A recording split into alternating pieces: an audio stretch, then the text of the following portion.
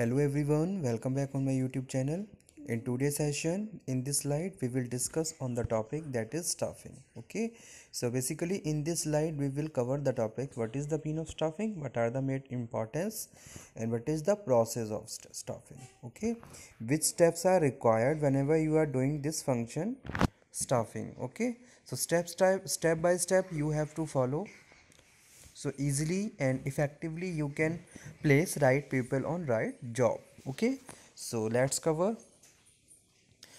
First of all we will understand what is the definition what is the meaning and definition of staffing. So let's cover. Staffing is a managerial function which involves obtaining utilizing and retaining qualified and competent personnel to fill all positions of an organization from top to operative level ठीक है in finger terms staffing is placing the right person at the right job staffing is the important function of management as we know planning organizing after that staffing okay तो planning के बाद staffing organizing organizing के बाद staffing क्या है? Main function है management का। तो जब भी हम मैनेजमेंट की बात करें, ठीक है? तो इसके इंपॉर्टेंट फ़ंक्शंस की बात करें तो स्टाफिंग भी एक सिग्निफिकेंट रोल प्ले करता है because there are number of positions in the organization आपकी ऑर्गेनाइजेशन का एक स्ट्रक्चर होता है, बहुत सारी पोजिशंस उसमें होती हैं। So you have to follow right the principle this and put the right person on the right job okay तो जितनी भी पोजिशंस होती हैं, उनको फिल करने के लिए you have to ensure and you have to hire a competent qualified person on a particular job और पोजिशन तो ठीक है, जैसे हम बात कर रहे हैं एक डिपार्टमेंट की। अब एक डिपार्टमेंट है, उस डिपार्टमेंट में बहुत सारी पोजीशन होल्डर्स हैं, ठीक है? आपने एक स्ट्रक्चर बनाया, जैसे कि सबसे ऊपर टॉप पे मैनेजर है, फिर असिस्टेंट मैनेजर है, फिर उनके असिस्टेंट्स काम कर रहे हैं, ठीक है? तो ये पूरा एक स्ट्रक्चर है एक डिपार्टमेंट का। अब आपको क्या करना है? You have to ensure and place the right person at the right job on the right time ठीक है? तो इसी को हम स्टाफिंग कहते हैं कि भाई, जो भी एक पोजीशन है, उस पर कॉम्पिटेंट ठीक है? जो भी रिक्वायरमेंट है जॉब की जो भी जॉब की रिस्पॉन्सिबिलिटी है, उसके लिए एक राइट right कैंडिडेट को प्लेस करना ही स्टाफिंग है। जैसे अब एक एच आर मैनेजर है, ठीक है? You are hiring a manager on the position of H R so you have to ensure कि भाई आप जिस भी पर्सन को हायर कर रहे हो, उसके पास मैनेजरियल स्किल्स होने चाहिए, उसके पास क्वालिफिकेशन होनी चाहिए, उसके पास एक्सपीरियंस होना चाहिए, ठीक है? ताकि बेटर तरीके से वो जो एच आर मैनेजर की जो रिस्पॉन्सिबिलिटीज़ हैं, जो भी जॉब की रिक्वायरमेंट्स हैं, उसको बेटर तरीके से कंप्लीट करे फुलफ़िल करे, ठीक है? तो उसी को हम स्टाफिंग कहते हैं कि भाई अगर आप एक पोजीशन को फिल कर रहे हो, ठीक है? आपकी ऑर्गेनाइजेशन में कोई भी एक पोजीशन वैकेंट है, उसमें राइट पर्सन को प्लेस करना ही स्टाफिंग होता है। अब जैसे, देखिए ऑर्गेनाइजेशन में आईटी डिपार्टमेंट होता है तो आईटी डिपार्टमेंट में जब आप लोगों को हायर करते हो पर्सनल्स को हायर करते हो, ठीक है तो यू हैव टू इंश्योर कि भाई जितने भी लोग आप हायर कर रहे हो, वो आईटी स्पेशलिस्ट होने चाहिए। उनके पास क्वालिफिकेशन होने चाहिए प्लस उनके पास स्किल्स होने चाहिए, ताकि बेटर तरीके से जो भी अलग अलग पोजीशंस हैं, जो भी जॉब की रिक्वायरमेंट है पोजीशंस की रिक्वायरमेंट है, उनको वो बेटर तरीके से परफॉर्म कर सके, ठीक है तो उसी को हम स्टाफिंग कहते हैं, ठीक है। So it aims at employing deploying and monitoring a competent and content staff ठीक है you are hiring a content competent staff which is the requirement of your organization और योर जॉब ठीक है ऑर्गेनाइजेशन में हम यही चाहते हैं कि हमारे जितने भी वर्क एम्प्लॉयज़ हों, वो कॉम्पिटेंट हों। उनकी वर्किंग एफिशिएंसी बहुत ज़्यादा इम्प्रूव हो। ठीक है? अगर वो कोई भी टास्क परफॉर्म कर रहे हैं तो उनके जो रिजल्ट्स निकल के आ रहे हैं, वो बहुत ज़्यादा जो भी हमारे एक्सपेक्टेशंस हैं, उसके हिसाब से होना चाहिए, ठीक है? और प्रोडक्टिविटी उनकी वर्किंग प्रोडक्टिविटी बहुत हाई होनी चाहिए। सो इट्स एम्स तो हमारा जो स्टाफ जब भी हम स्टाफिंग करते हैं तो हमारा ऑब्जेक्टिव यही होता है कि भाई, जितने भी हम वर्कर्स को या एम्प्लॉयज़ को हायर कर रहे हैं दे मस्ट बी प्रोडक्टिव ठीक है? They have such kind of skills and knowledge so willingness के साथ उन अप, उनको अपने पॉजिटिव एफर्ट्स को यूज़ करना है अपनी नॉलेज को यूज़ करना है अपने एक्सपीरियंस को यूज़ करना है ताकि बेटर तरीके से वो जो भी टास्क है उसको परफॉर्म करें ठीक है? So daily wages earners contract employees consultants regular employees etcetera to undertake various managerial और non managerial activity in a organization ठीक है? ऑर्गेनाइजेशन में हम लोगों को जब हायर करते हैं, जैसे कोई फैक्ट्री है, उस फैक्ट्री में अगर हम वर्कर्स को हायर कर रहे हैं तो उसके बहुत सारे स्टेप्स होते हैं या फिर बहुत सारे सोर्सेज होते हैं, ये भी हम कह सकते हैं कि भाई आप डायरेक्टली हायर कर रहे हो या फिर आपने किसी कॉन्ट्रैक्ट के थ्रू हायर किया या फिर आप कोई कंसल्टेंट एजेंसी है जिसके थ्रू हायर कर रहे हो, ठीक है? तो जो भी रिक्वायरमेंट है उसके हिसाब से आप अलग अलग सोर्सेज के एम्प्लॉयज़ को हायर करते हो और उनको राइट पर्सन पे प्लेस करते हो, that is staffing. Now next slide is cover importance of staffing, क्या इम्पॉर्टेंस होता है स्टाफिंग का?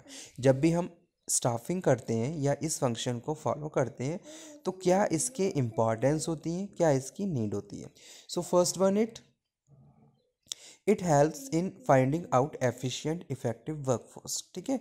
तो जब भी हम स्टाफिंग की बात कर रहे हैं तो in that time we are ensuring कि भाई हम एफिशिएंट और इफ़ेक्टिव वर्कफोर्स को ही हायर कर रहे हैं। ठीक है? ठीक है? आपने प्रॉपर स्टाफिंग करी तो आप आप क्या हो? आप इस चीज़ से भी बहुत ज़्यादा सेटिस्फाई हो कि भाई जितने भी वर्कर्स हमारी ऑर्गेनाइजेशन में काम कर रहे हैं, वो प्रोडक्टिव हैं, वो इफ़ेक्ट इफ़ेक्टिव हैं एफिशिएंट हैं अपने काम में, ठीक है? और बेटर तरीके से वो हमारे गोल्स को और ऑब्जेक्टिव्स को कंप्लीट करने में वो हमारी हेल्प कर रहे हैं, ठीक है? So it improves organization performance and for productivity और जैसा कि हम जानते हैं, जितने ज़्यादा आप कॉम्पिटेंट वर्कर्स को हायर करोगे उतना ही आपके लिए क्या है? It improves organization performance and productivity by appointing the right person at the right time ठीक है?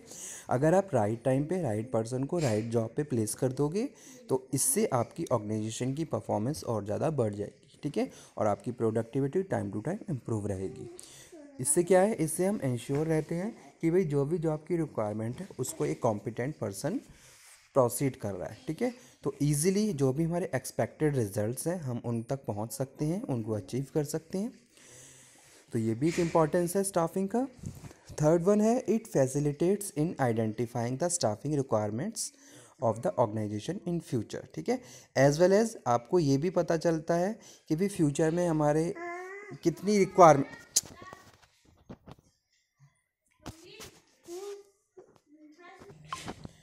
फ्यूचर में हमारे ऑर्गेनाइजेशन में कितनी रिक्वायरमेंट है वर्कर्स की, ये भी हम बेटर तरीके से एस्टिमेट कर सकते हैं, ठीक है?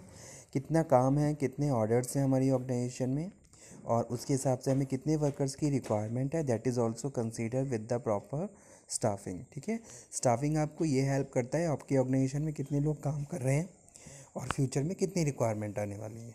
तो उसी के हिसाब से आप नंबर ऑफ़ एम्प्लॉयज़ को हायर करते हो ताकि बेटर तरीके से आप जो भी अपना प्रोडक्शन है उसको प्रोसीड कर सको और जितने भी बायर्स के आपके पास ऑर्डर हैं, उनको आप within time period complete कर सकते हो, ठीक है? जैसे सपोज़ कोई भी ऑर्गेनाइजेशन है और वहाँ पे आपके पास नंबर ऑफ़ वहाँ पे जो कम ऑर्गेनाइजेशन है, उसके पास नंबर ऑफ़ ऑर्डर्स आ गए हैं, ठीक है? तो उस टाइम पे आपको वर्कर्स को हायर करना पड़ेगा क्योंकि आपको पता है टाइम पीरियड बहुत कम है और कम टाइम पीरियड में हमें पूरे ऑर्डर्स कंप्लीट करने हैं। तो ये सब चीज़ें हम बेटर तरीके से एस्टिमेट कर सकते हैं, अगर आपने स्टाफिंग को प्रोसीड किया है, ठीक है? नेक्स्ट वन है it ensure continuous survival and growth आप बेटर तरीके से कंटिन्यूस सर्वाइव कर सकते हो और आप ग्रो कर सकते हो, अगर आपने प्रॉपर कॉम्पिटेंट पर्सनस को राइट पोजिशंस पे राइट टाइम पे और राइट स्किल्स के साथ प्लेस कर रखा है, ठीक है? अलग अलग डिपार्टमेंट्स होते हैं ऑर्गेनाइजेशन में। हर डिपार्टमेंट में अलग अलग पोजीशन होल्डर्स होते हैं और उनकी अलग अलग ड्यूटीज़ और रिस्पॉन्सिबिलिटीज़ होती हैं। तो आपने स्किल्स के हिसाब से जॉब की रिक्वायरमेंट के हिसाब से राइट पर्सन को राइट जॉब पे प्लेस कर दिया है। तो आप ये इंश्योर करके चलते हो कि भी जो भी ड्यूटीज़ हैं वो प्रॉपर परफॉर्म की जा रही हैं और हम जो हमारे जो ऑब्जेक्टिव्स हैं वो टाइम पीरियड में कंप्लीट हो रहे हैं, ठीक है? तो तो हम इफ़ेक्टिवली एफिशिएंटली काम कर रहे हैं तो इससे हमें प्रॉफिट होगा, हम ग्रोथ करेंगे, हम ऑर्गेनाइजेशन का एक्सपेंशन होगा, जिससे हमारा कंटिन्यूस सर्वाइवल बना रहता है, ठीक है? It develops personnel to take top managerial positions of the organization साथ के साथ स्टाफिंग ये भी हेल्प करता है कि भाई अभी आप एक पोजीशन पे प्लेस हो। If you will learn number of the things it develops personnel to take up top manager position of the organization ठीक है so whenever you are working in the organization you have number of chances for career development also ठीक है? अभी आप assistant manager की position पर place हो तो you have chance you will place you got a place of the managerial position also तो आप अपने आप को इम्प्रूव करके, अपने स्किल्स को और ज़्यादा पॉलिश करके फ्यूचर में मैनेजर पोजीशंस पे ऑक्यूपाई हो सकते हो, ठीक है? तो यही चीज़ यहाँ पे हम बात कर रहे हैं। It develops personnel to take up the top managerial position of the organization ठीक है? कभी कभी क्या होता है, जब ऑर्गेनाइजेशन में कोई पोजीशन वैकेंट होती है तो हम उसकी जो लोअर पोजीशन होती है, उसको हम ट्रांसफ़र कर सकते हैं या उसको प्रमोट कर सकते हैं हायर पोजीशन पे। नेक्स्ट वन है it ensure training and development ठीक है? Sometime we have to train workers also हम वर्कर्स को ट्रेनिंग भी देते हैं, चाहे वो ऑन द जॉब हो या फिर off the off the job हो, ठीक है?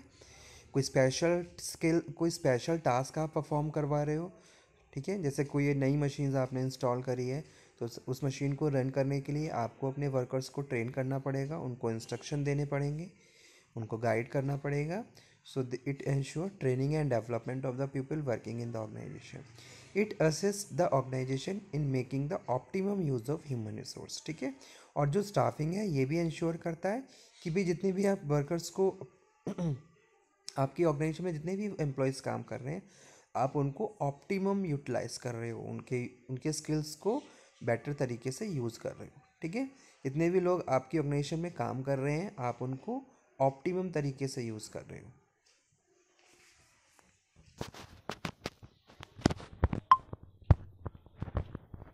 it helps the top management in the manpower requirement resulting from a promotion transfer employee turnover retirement of the existing employee ठीक है? और साथ के साथ इसमें हम बात कर रहे हैं कि आप रिक्रूटमेंट करते हो, आप सिलेक्शन करते हो, आप ट्रेनिंग देते हो, आप डेवलपमेंट करते हो अपने मैनेजर पोजिशन का, ठीक है? प्रमोशन भी है स्टाफिंग का ही पार्ट होता है ट्रांसफ़र भी, और एम्प्लॉय टर्न ओवर रिटायरमेंट जो भी जितने भी एग्जिस्टिंग एम्प्लॉयज़ हैं उनको रिटायरमेंट्स और रिटायरमेंट बेनिफिट्स भी दिए जाते हैं, ठीक है?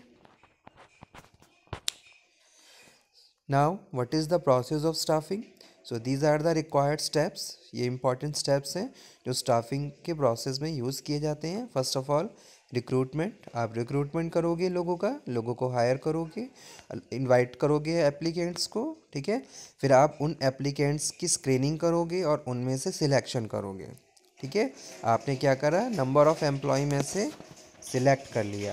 सिलेक्ट के बाद है orientation and performance after that जितने जितने जितने भी लोगों को आपने हायर किया है, आप उनको ओरिएंटेशन यानी कि आप अपनी ऑर्गेनाइजेशन से उनको फैमिलियर कर रहे हो, अपनी ऑर्गेनाइजेशन के बारे में बता रहे हो, हमारी ऑर्गेनाइजेशन क्या है, और जिस भी पोजीशन पे आपको हायर किया गया है, उसकी क्या ड्यूटीज़ हैं, क्या अथॉरिटीज़ और रिस्पॉन्सिबिलिटीज़ हैं you are discussing with your fresh employees जो भी आपने हायर करे हैं।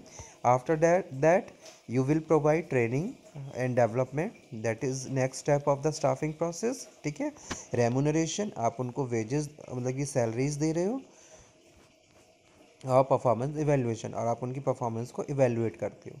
कि भाई जितनी भी एक्सपेक्टेड रिजल्ट्स हैं, उसमें कितने डेविएशंस आए एक्चुअल में कितना रहा स्टैंडर्ड कितना था, कितने डेविएशंस आए हैं।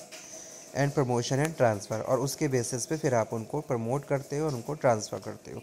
तो ये पूरे स्टेप्स रिक्वायर्ड स्टेप्स होते हैं स्टाफिंग के, ठीक है? तो यहाँ पे मैंने इसको डिटेल में भी लिख दिया है। आप चाहो तो इसको नोट डाउन कर सकते हो, क्योंकि इस, ये सारे टॉपिक्स एग्ज़ाम के पॉइंट ऑफ़ व्यू से भी इंपॉर्टेंट हैं, के लिए भी। Okay student thank you thank you very much for today slide if you have any doubt any query then you can again discuss. Thank you.